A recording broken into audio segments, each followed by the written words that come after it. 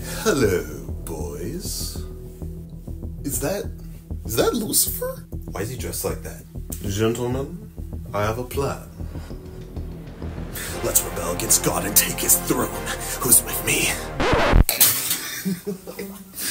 good one, good one. I mean, he had me there for a minute. I'm serious.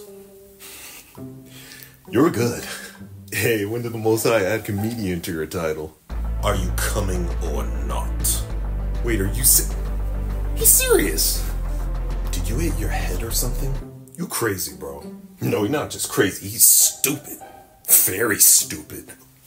Are we allowed to say that in heaven? I mean, what kind of fruitcake could even think he could stand up to the Almighty God? Not to mention, he'd have to fight all of us before he could even make it to God's throne room. Are you one of those things the Most High created without a brain? I'll join. Very good. Did you hit your head too? Come, let's go, Mike.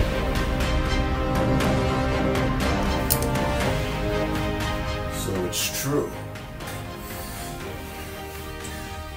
Who's asking?